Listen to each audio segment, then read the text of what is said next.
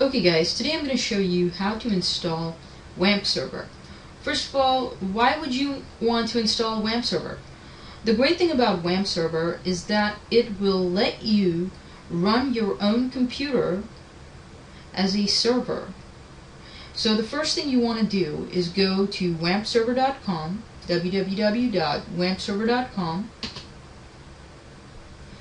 and here we are. Um, I'm going to go ahead and click English. WAMP server comes with various softwares. Apache, MySQL for your databases, and PHP, the coding language. So the first thing I'm going to do is click WAMP server 2.0i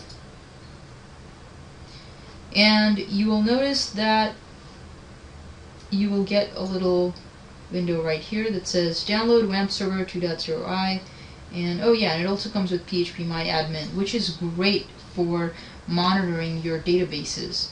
Um, that way you don't have to go to the command prompt and um, you know, it just takes a longer time and uh, PHP My Admin is really great to visually create new databases and do all kinds of really great things. So I'm going to go ahead and click download WAMP server 2.0i and I'm going to go ahead and save the file.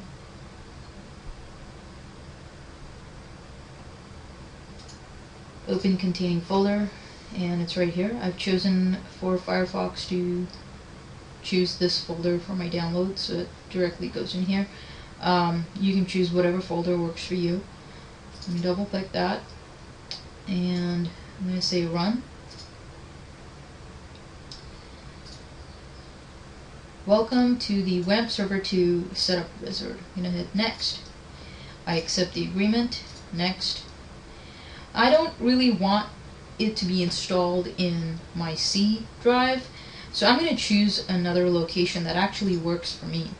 I keep a lot of my files in this folder called website design and so I'm going to choose that folder to choose um, WAMP so when it comes down to um, serving files out of a specific location, it will um, it will choose this.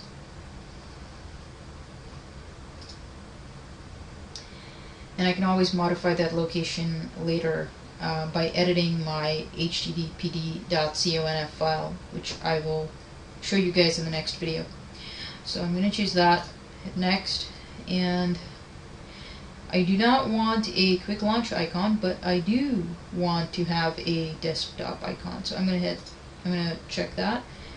Say next, install.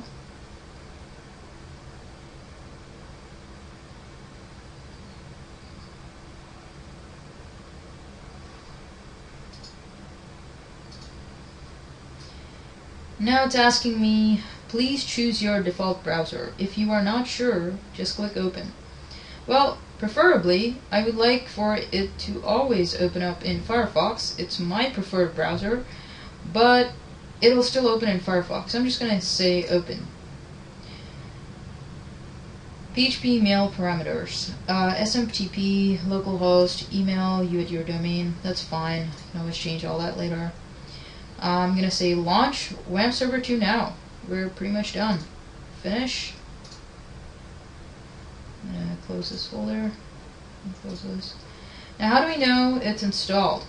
Well, I'm going to show you guys something. Right here, it'll say, it'll create this little icon and it'll say server offline. So you want to turn it online.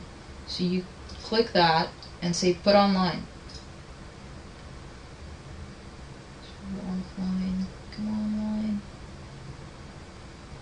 Mouse over, and there it is, server online. So now I'm going to go back up to my browser, and I'm going to type in localhost. And there it is. WAMP server is installed successfully. In the next video, I'm going to show you guys how to edit your httpd.conf file. When you edit that file, you have the ability to have, uh, instead of this screen that you see here, that says WAMP server, server configuration, you'll basically have uh, folders that contain your documents. So I keep a folder for every client, um, and I just created a test folder to show you guys. So in the next video, I'll show you guys how to edit the httpd.conf file. Stay tuned. Um, in the meantime, if you want to get an update on these videos, you can also follow me on Twitter. I'm gonna give you guys my address. It is twitter.com slash Ramona Works. Hope you guys enjoyed this video. Have a great day.